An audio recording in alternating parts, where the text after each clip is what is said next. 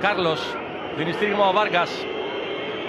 Η πάσα του Κάρλος ο Λιμπερόπουλος offside.